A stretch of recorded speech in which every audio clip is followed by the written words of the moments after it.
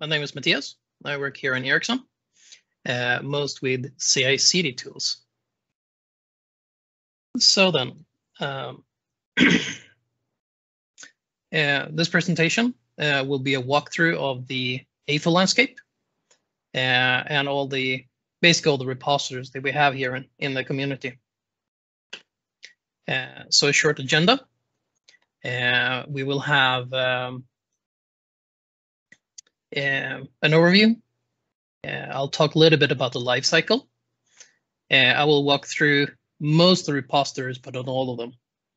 And then there's some time for questions in the end. So this is a draft landscape of what uh, repositories you can find in the Eiffel community. Uh, we have um, many repositories that just contain one thing. Uh, we do have repositories that contain, uh, well, we have many repositories, but I've grouped them together in just one, one uh, box here. Uh, we do have some libraries and we have some special one. Uh, one thing you will notice is might notice is this badge here. And we have a life cycle uh, for repositories in Eiffel. Uh, so what is this life cycle? Uh, the first stage of this life cycle is a sandbox stage. Uh, but that is for new projects and uh, projects that haven't uh, yeah, come very far. Um, so the idea with this life cycle then is also to give an idea for users outside, okay, can I trust this project or not? So if it's a sandbox, sandbox stage, might not be able to trust it that much. Next stage is graduated. And this is for uh, projects that we think are, uh, yeah, well deemed for uh, for use. Um, and also one criteria is that we have two different uh, organizations that are actually supporting this one. So currently we only have one uh, there. Uh, the last stage is archived, and that is for projects that we don't think there's going to be further development on maintenance. Uh, so you might notice here, I got this graduated badge on the Eiffel protocol and such. Uh, excuse me. Uh, we do have a couple of um, repositories that are just marked as one. So I'm just going to show an example uh, here with uh, RemRem. Uh, so RemRem consists of a, a, bunch of different repositories, but we just draw them as uh, one here and here. Let's start diving in. Uh, we have a bunch of repositories here um, that is uh, because they special repository, community related repositories. Uh, so first of all, so we have the community repository. Uh, this repository is uh, where we hold all our documents connected to the, the community and the governance of it. For example, we have this governance document where you can read about how Eiffel is governed. Uh, we have elections. We have a technical committee that governs it, and these are election meetings. Uh, we also have our meeting notes here. And we have this project lifecycle uh, that I talked about, and also how to handle if we have security issues in the protocol. Uh, next one we have here is um, we have an Eiffel playground. This is a kind of like a special repository if you want to test out something in um, like a CI/CD world, um, like sending excuse me events for uh, when you deliver things and so on, and you want to try that out and want to have do commits, but don't want to pollute your repository, you can use this Eiffel Playground repository. Uh, we have uh, a repository that holds our templates if you want to create other repositories. Uh, and in here, we also have a repository checklist uh, that you need to follow if you want to create a new repository. Uh, so we have a, a homepage. Uh, you might notice if you go to the start of the community, uh, we have this page here. And um, here we also hold the summit agenda. And then this page is located in here in Eiffel Community GitHub.io uh, and all its files here. And we have this .github repository. This is a little bit of a special repository. Um, it's a GitHub thing uh, where we have uh, documents when you try to create uh, pull requests and so on, you might see contributing and code of conduct, and that's what we host here. We also have our templates, uh, for example, pull request templates and issue templates. They're only located in this .github um, uh, repository. Uh, we have two uh, some of the special uh, things.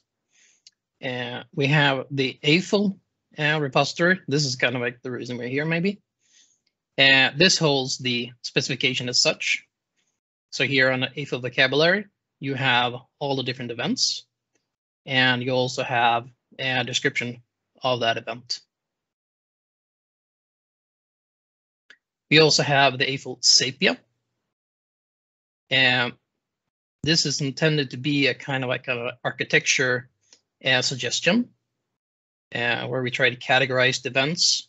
And if you check here, we have a little bit of description about when you use these events. Um, also a little bit when to use the events and when to use a certain piece. So for example, RabbitMQ message broker and a little bit around uh, how you can set that one. So that is Eiffel uh, Sepia repository. Now there is one little gotcha because if you check here, you don't see any files, and that is because we have them under uh, GH pages.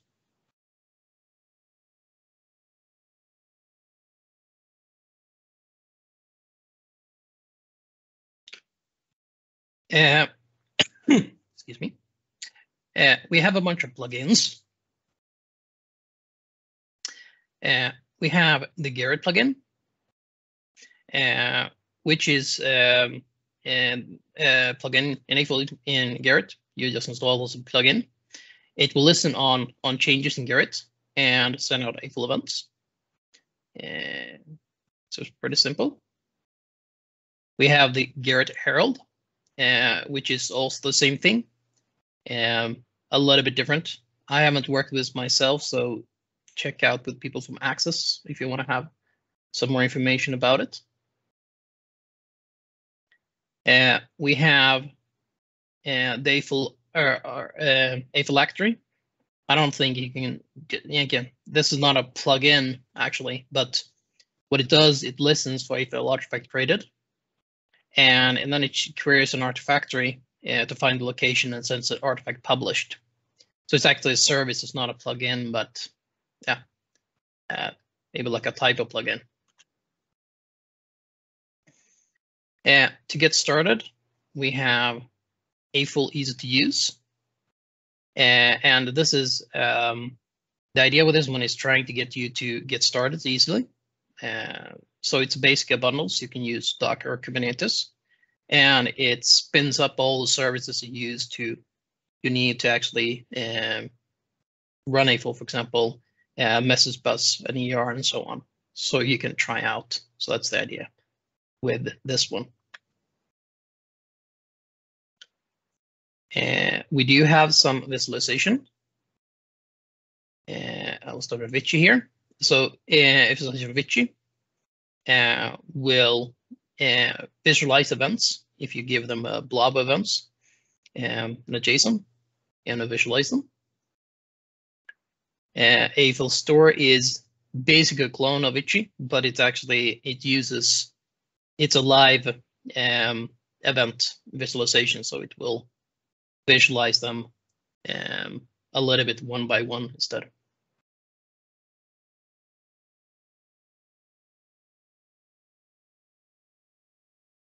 Yeah, um, so Eiffel stories, you can't insert whole blob, but you need to start them one by one. I was trying to say.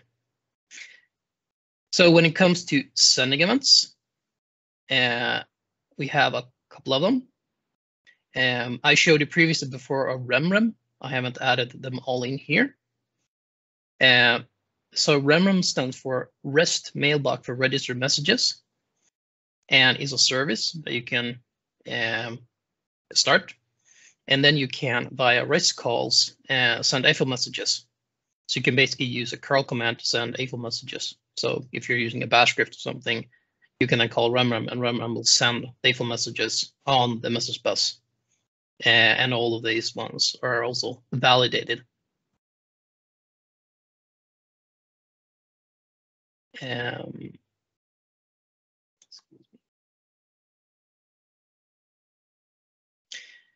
uh, we have the simple event sender, uh, which is a, a, sender for events, also written in JavaScript. Uh, so for processing events, uh, we have Eiffel Intelligence, and this is a, a real-time aggregation uh, solution that will aggregate events. And then you can uh, create subscriptions and say that you want to want to wait for a certain event to happen or chain events to happen. And then you can get a mail or you can get a REST call um, when those um, events have come is here. Um, there is a front end to it also. And uh, this front end then has a GUI uh, where for example, add descriptions and view descriptions and so on. So it's for ease of use, else the backend is an API only application, actually.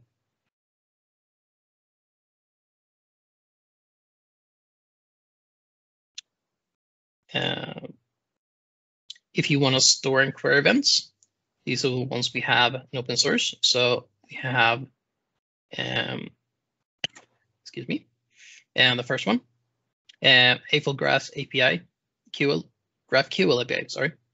Um, and this is uh, basically a GraphQL API on top of MongoDB. It's used by uh, ETOS, I think. Uh, I've not worked with myself uh, to store and retrieve um, events. We have the Goer. This is one of our newest um, projects. And this is a Go implementation of our event repository API. Uh, hopefully this is compatible with uh, Ericsson's one. Uh, we have uh, Eiffel persistent technology evaluation.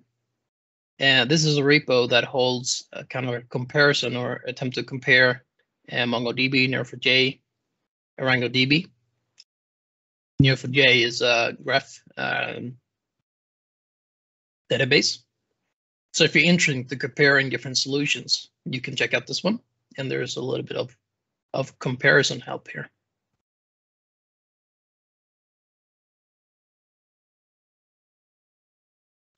Uh, we have a bunch of libraries.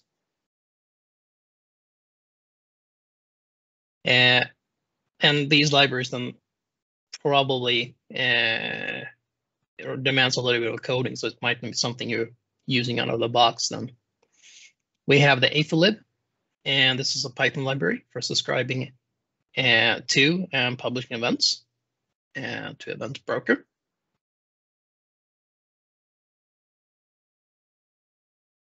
Uh, we have uh, the Eiffel um, uh, Gerrit lib. Uh, this is actually a support lib to the Gerrit uh, Eiffel Ger Gerrit Herald, um, and it will take uh, Gerrit events and convert them to Eiffel events.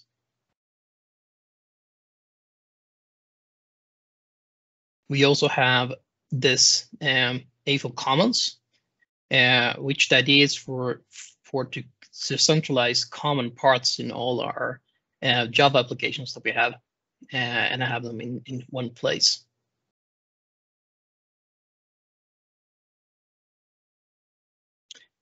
We have a test framework, ETOS. Uh, and the idea with this uh, here is to if you're running tests, so ETO stands for Eiffel Test Orchestration System. And the idea is when you're running tests, uh, you want to differentiate from uh, what to run, how to run, and where to run them. And this would ETOS will help you with. If you're interested in uh, this test registration system, so I would recommend you to check out these authors and contact some of them.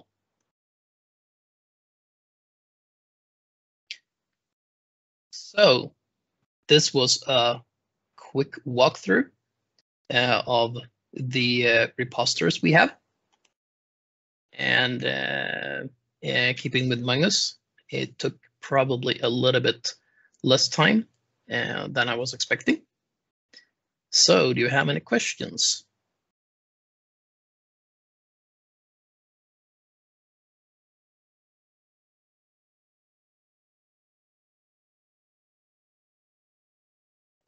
Um, Kenneth here. Actually, I have some questions. Like, um, so we have like uh, so many repositories. Like, uh, I'm I'm wondering who who has started like all these like uh like uh, smaller applications or like a uh, plugin or, or stuff like that.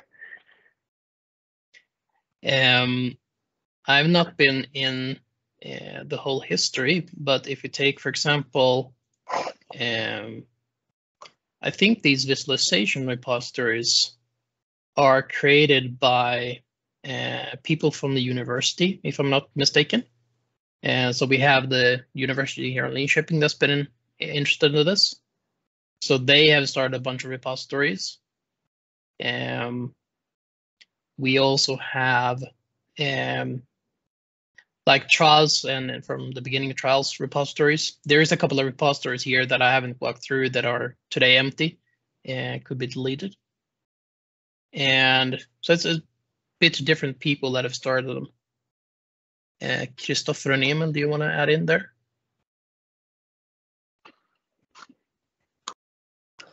I think that's that's it. that's great. Uh, unless Kenneth or anyone else has more comments on it. I've, I've like it's, it's all this like a repository like and, and all this plugin like uh, it has been used by uh, like uh, like uh, anyone like uh, yeah so it's just because I, I, I didn't know that we have such a so many repo like uh, like uh, you would have something like comparison on between like uh, different different databases so yeah so it, it was quite quite nice to know like the, the whole landscape about that.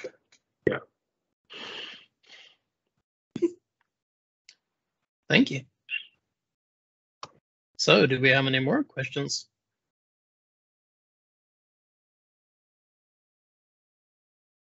Um, hello, Magnus here. You uh, went over the Eiffel Intelligence the Eiffel Intelligence repository, and you mentioned it was a REST API only application. How does that fit in with the uh, earlier um, not keynotes, what they call presentations, where uh, Eiffel was uh, strongly described as uh, a uh, community where we don't really want point-to-point -point communication, but uh, publisher and subscribers. Um, good question. Um, what I probably was trying to say here was when I was talking about the front end and um, we have uh, a GUI um, for uh, communicating with Eiffel Intelligence. Um, but it's it's not mandatory to communicate with a GUI, but you can actually communicate to do it with um, using APIs. But were you thinking of actually, um, yeah, so so communicating with this application, you're using uh, REST calls to to add and, and remove subscriptions and so on but this will then of course listen to the message bus. Uh, but currently it does not send any events. Did I give any answer to your question? Yeah, um, I guess it's the not sending part really that uh, I'm trying to understand how it fits in. But uh, uh, yeah, I think I have my answer. Thank you. Mm. Thanks. But Eiffel Intelligence could send events. Depends on what you configure it to do. Yeah. Um, the rest, um, when you when you have subscriptions, you will you can trigger REST call, and that REST call can then trigger RemRem if you want to.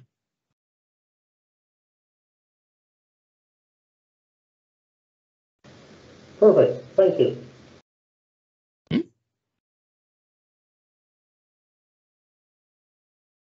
Any more questions?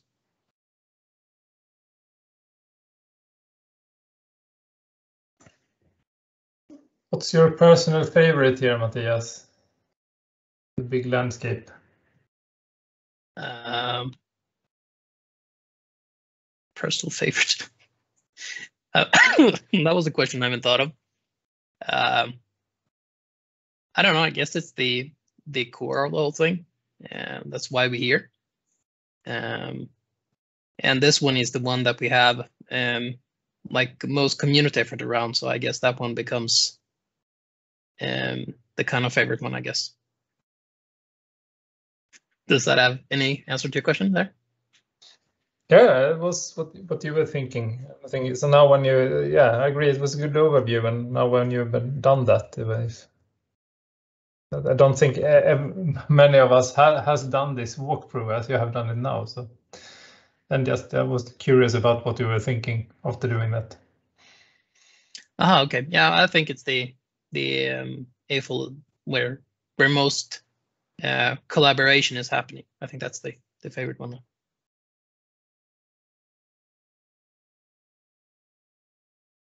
This is great. A lot of questions. Anything more? Any more question?